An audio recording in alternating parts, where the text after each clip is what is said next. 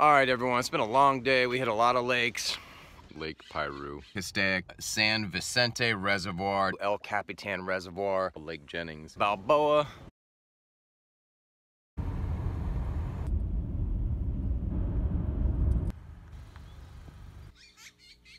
Well, I am at Lake Piru, trying something different today, different lake, uh, a lot less pressure.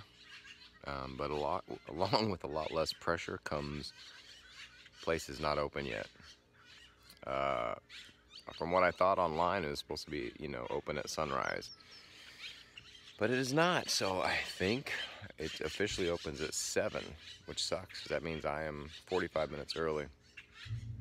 So I don't know if I'm allowed to fish from shore here or what. Um, I mean, it's gorgeous and there's nobody out there. So I don't know. I mean, by the time I drove over to Castaic, it would already be opening time here, so there's no sense in going anywhere else. So I really don't know. Hopefully they open at 7. Well, I figured since I'm waiting for the boat rental to open, I'll just go do a little fishing from shore. I know there's some big shad down here, um, so maybe I can get a jerk bait bite real quick.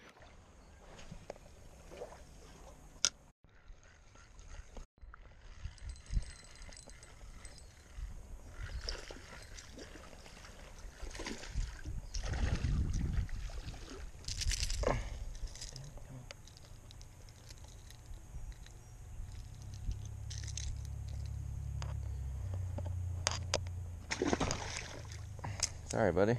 Well, there's not a lot of pressure at Piru. There's also no attendance here, no boat rentals, stores closed. It's uh, it's after seven. The sign up front said seven, even though they let you in. Online it says sunrise, like 5:45. Um, and then on the door it has one of those little be back at signs, and that says nine. So there's no way I'm waiting here until 9 to rent a boat. It's just not worth it. I've already kind of uh, ruined my uh, morning here because, you know, it's an hour gone and by the time I get to Castaic, that's another hour.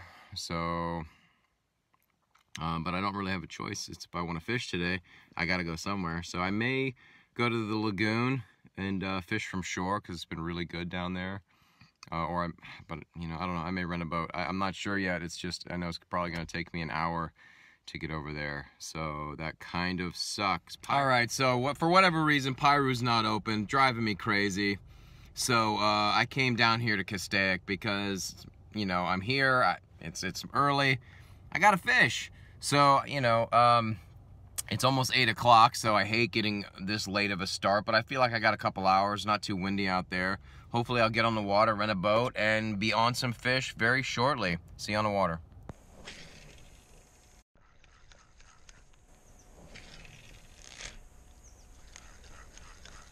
Well, so far I had one follow on the jerkbait, and that's about it. Um, I haven't been skunked to Castaic in a long time.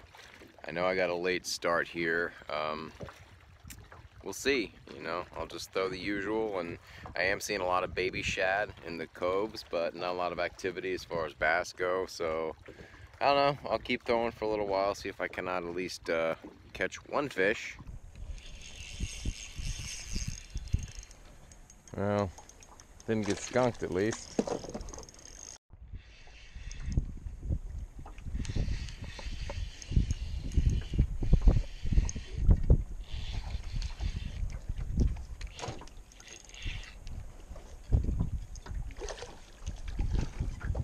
Thanks, buddy.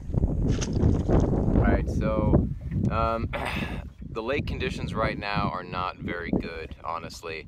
Um, it's, it's summer, but it's in between. I'm seeing a lot of uh, schools of small shad in back in the coves, but not enough to get the bass going or anything like that, or the striper. Um, the, it's very windy these days, as you can see behind me, and in a rental boat, you know, I, I, think right now I need to be on the main lake points um, because the water's really green and nasty and there's algae and stuff uh, everywhere. And I'm just not seeing a lot of fish shallow at all. Um, you know, I caught the two on the Senko and, uh, and that was it. I've been throwing the, the jerk bait, the Senko, a little fluke action, uh, and that was about it. So you know, I can't I can't be on the main lake points drop shotting, which is probably the most effective way to catch fish right now.